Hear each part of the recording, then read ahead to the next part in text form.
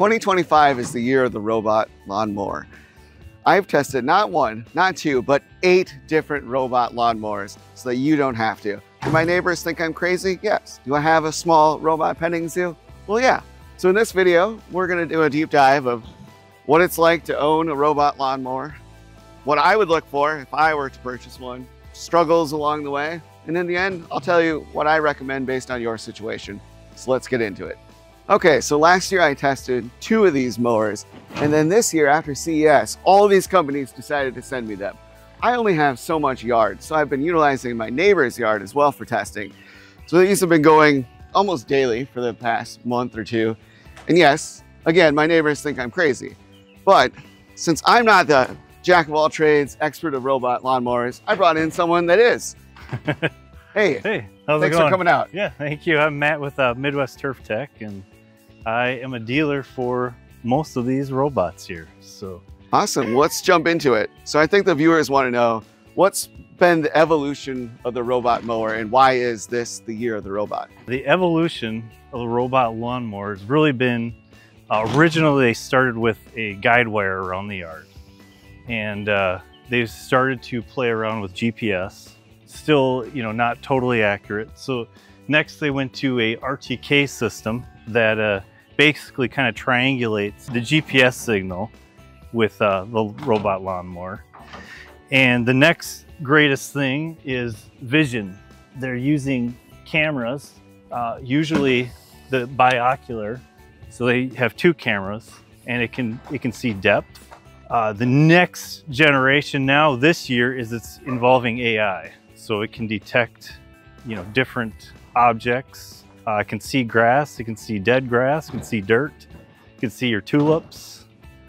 So very similar to like robot vacuums then. Right. Started with just bouncing around everywhere. Then they did the smart pass.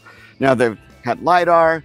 Yep. And then eventually AI for the recognition to you know, not run over that dog toy. But in this case, an actual dog. We don't want to run over Yeah. pets. We'll so what's what's the setup like then? you're gonna download an app. Uh, there's a charging base, and this is where the uh, lawnmower will dock to charge. Um, a lot of the units will have a RTK base station, and this will mount either in the ground or you can mount it on your house. Let's talk a little bit about that. So, when I was setting these up, it really wanted to be away from the house. 10 feet, I think, is what they recommended. Yep. Or you could put it on your roof, which I'm not doing that. With the Yarbo, it actually required power over Ethernet, but most of them were just plug in. Uh, but what do you recommend for placement as far as you know, being in the yard, not running over the cord, you know, landscaping? Yep. Where should where should we put this thing? I, I would recommend at least six feet from any structure. For sure, close to power. Another important thing is to be uh, in Wi-Fi range, uh, at least for updates and stuff like that. For like the RTK base station, this you're gonna want about 100 degrees of horizon. You wanna see quite a bit of the sky. So in this situation here, I would recommend to move that antenna to another location. Okay, so we have the obstruction of the house. and Yes. this tree. Yeah, that might explain a lot for testing. Uh, uh, so one thing that I noticed when I was running some of these units is that when we got in between the house, the, uh, it would say the GPS signal was lost. Can you talk a little bit about why that might occur? Uh, that's really because you're losing all that horizon. Um, you're kind of basically going down a tunnel, and you know you're lucky if you do get a satellite over that strip, over that thin strip. so how would we overcome that? Do I need to just move the antenna like you said, or maybe separate zones? Probably, well, the best thing would be to ensure that if it has the RTK base station, that this has really good signal. Hmm. Um, I think that's so it's more to do with the station than the mower itself. Yep, yep. Okay. And it triangulates. So, you know, it's constantly talking. Uh, one interesting thing I've found is that if this RTK base station is like at a corner of the property, it seems like it gets better the further away. Mhm. Um, I don't know how, and I don't understand it myself, but it does. Um, and then higher too helps. So, Yeah. I know some people are putting them off on the roofs, but when you're testing eight at a time, it doesn't really make a lot of sense. yeah, there's a little battle. So some of these don't require the RTK unit. They're Yep. using LiDAR and vision. Um, let's walk through some scenarios where maybe one might make sense over the other. Yep, yep. I would say for sure the LiDAR is really important if you have a fully treed yard or, you know, most of it is treed that this, it does not need GPS like the other units do. Um, it's basically just shooting an infrared laser out and it's measured, taking a measurement, you know, it's like, I don't know, a thousand times a second or something like that. It's pretty crazy. Yeah, I was really impressed with how both this one and then the Eufy uh, were able to do auto mapping. And so you just kind of like set it out, went about its day and Yeah. came back and voila. Correct me if I'm wrong. Can the Segway do auto mapping as well? It can. Um, it doesn't have binocular cameras in the front. It has two cameras on both sides, so it sees 180 degrees. Actually, a little bit more. It's like I don't know, two 200 degrees or uh, 280 or something crazy. As of right now, software-wise, the Eufy is going to be the best okay. at using AI to figure its locations. Yeah, for that one, it was very easy. I just set the base station down, hit auto map, it did a perimeter. Yeah. Of course, I have a fenced in backyard, so that helped, but Yeah. it was still able to go along like the patio and the garden beds and Yeah. things. Uh, one thing I noticed with the Dreame and the Worx is that with mowers like you know your traditional mower, you can just push through if your grass isn't completely level. But with these little guys, there was uh, some divots in our backyard, and they would actually get stuck and just call for help. And so I found myself rescuing them, and then you know any time savings I had was just negated by the fact that I was babysitting the robots. Yes, I, I know. Um, that's kind of the evolution with these. Um, I'm starting to really believe a all-wheel drive mower is going to be best for more of the situations for people. Um, so we're talking the Luba, Yep. the Sunseeker, and then the Yarbo, the. Yarbo. this thing is a freaking tank. Look at this. it is overkill. But uh, you know, the two-wheel drive ones are good. Uh, like the Segway, that one has a, tra- a traction control software in it, and this one has hub motors too, so it can it can detect when it starts to slip really good Yeah. and try to work. through it. Yesterday, I was doing that. Uh, the grass was still a little bit wet, and it, it wanted to go back. Yeah. 'cause It didn't think that it could complete the job. So I thought Yep. that was pretty cool. Um, obviously, we don't want them to run in the rain. So Yeah. a lot of them are going to have rain detection on top, which I think is Yep. smart. And then others, like the Segway, that have the weather awareness. Yep, yep. Uh, so It's it's kind of the come same. a long way. yeah, I know, I know. Um, the this one, it's it is neat, you know, it following the weather, uh, because you know one problem I have with the rain sensors is the irrigation. Um, they get wet, um, you know, especially these ones with the bowls, like the Sunseeker and the uh, Luba. They stay wet for quite a while, and you know, if it's a cooler day out, it's not going to dry. Um, a And- good- observation. So maybe placement too makes sense that we don't want to have it out where it's Yep. going to get hit by that. And then I know a lot of them make the little garages. It's like 300 bucks to have a little piece that goes over the top. I My solution was to just put it underneath the deck stairs. Yeah. So that worked, but the uh, the Segway, I have to say, has the best garage. It's got a nice little flip up latch on it, so you can still access everything and you know clean the mower if you gotta. So yeah, let's talk a little bit about maintenance. It's razor blades, so it's mulching the lawn, not cutting the yard. How often should we be replacing them? How much are they? all the manufacturers recommend about every 30 days uh, to swap out the blades. There's a couple of these that will give you a warning in the app when it thinks it's time to change the blades. It kind of goes by resistance. The Dreame and the Worx are overdue. I tested them for a full season and never replaced the blades. Uh, you can tell by the rust that's on them, so I'll go ahead and do that. Uh, most of them did come with extra replacement blades in the box, which I thought was pretty helpful. The Sunseeker.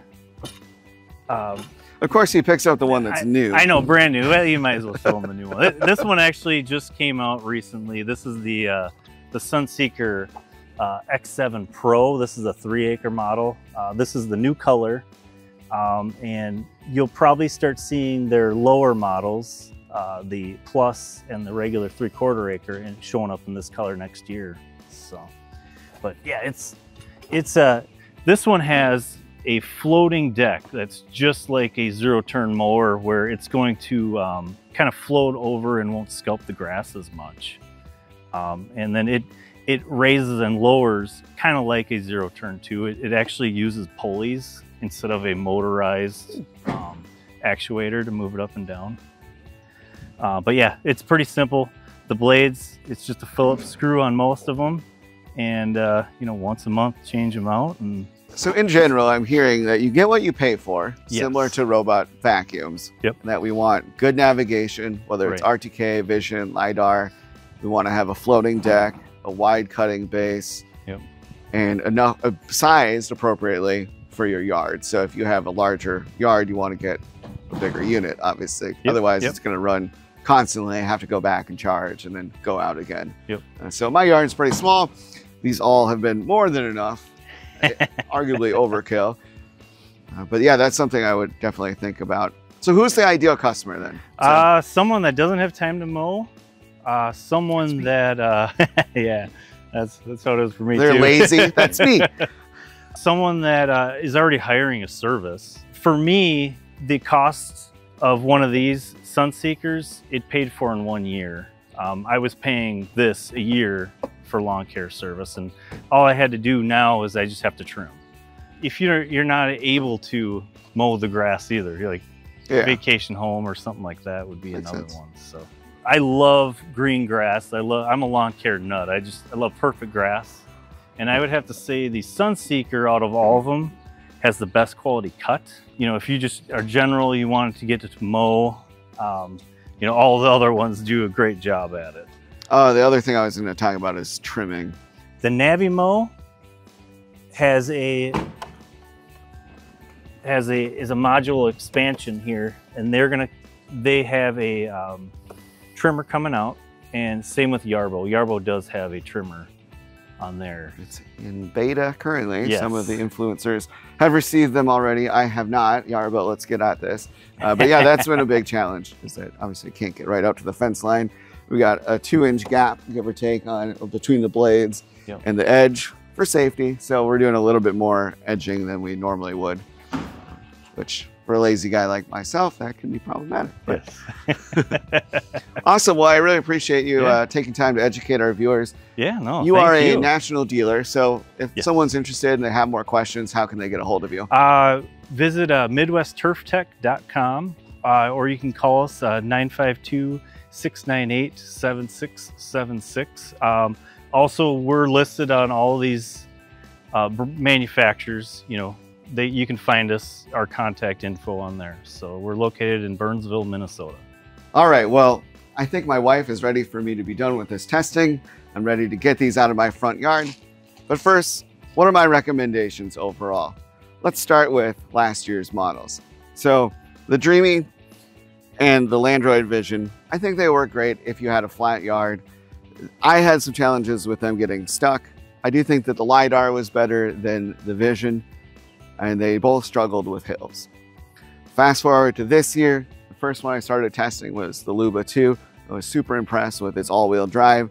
It handled the hills with no issues. It was able to do uneven terrain.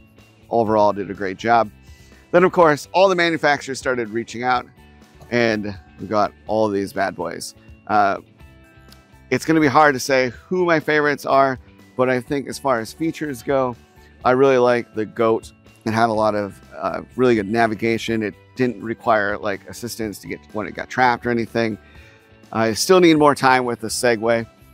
I really want to test the trimmer attachment because, like I said, uh, without that that gap is like two inches, and so it does leave a lot of extra uh, trimming to do, which is a pain. And for my use case, I think the Yarbo is a little bit of an overkill. I mean, this is a big unit, and so with a smaller yard like mine, I don't know that I need something this big. I do have a fun clip of it pulling me around, and, and that's neat. And I do love it for the winter. I'll put a link to that video right here. Uh, but I did do individual reviews on each of these units. So if you want to check them out, we'll put that link right here as well. So I really think that a robot mower is worthwhile if you're a type of person that either doesn't have the time, uh, you get home and it's like the last thing that you want to do. I think any of these are going to work for you. They're pretty turnkey, easy to set up. Like Matt said earlier, though, if you have a house with a bunch of trees, definitely go for something with vision or like not reliant on RTK. This base station is pretty easy to get set up, but if you have obstructions, you're gonna run into a lot of challenges that can be frustrating. Uh, but yeah, overall, I'd say this has saved me probably an hour a week. And if I was to hire it out, it'd probably be a couple hundred bucks a month. And so that really has added up. I think within a couple of years, you know, this will have paid for itself. Um, it's more reliable than the neighbor kid. He went and got like a summer job and then went back to school and stuff. Like who does that? Uh, my lawn is so important. Like this should be priority number one. Uh, these guys haven't quit on me yet. So kudos to them. But until next time, take care.